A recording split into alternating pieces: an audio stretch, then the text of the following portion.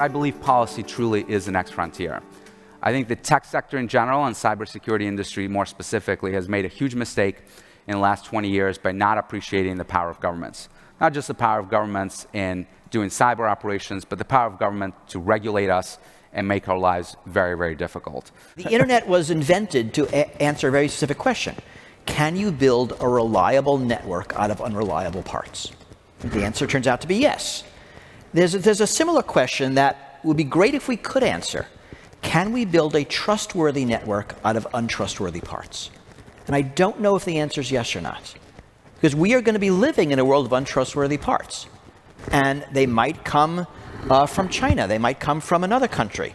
They might come from the, they, right? They might be Swiss crypto equipment. and, and yet we have to somehow get trustworthiness out of that mishmash. And I think that's a research question that is you know, major DARPA funding level and something we should, we should think about. Watching HIPAA and PCI evolve, that having those standards around data, uh, having 50 different privacy laws in 50 different states, that is not helpful. That really is not helpful. And if we could get a standard around people data or healthcare data, uh, from my perspective, I'm all in. Healthcare is very unique, mm -hmm. and genomic data in particular is an example of that uniqueness. And there's terms that are out there in the technology setting around immutability um, and so forth. And if you think about data and data persistency, um, genomic data is as relevant 100 years from now at an individual level as it is now.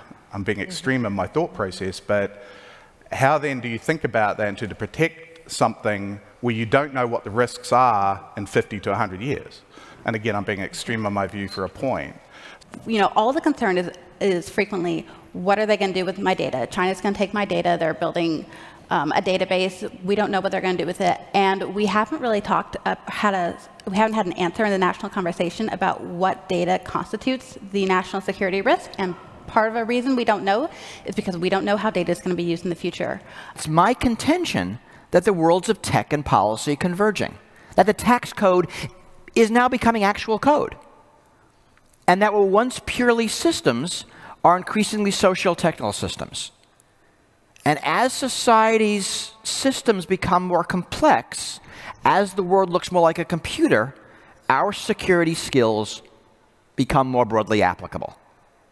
This is a way that I think we can blend tech and policy in a new way.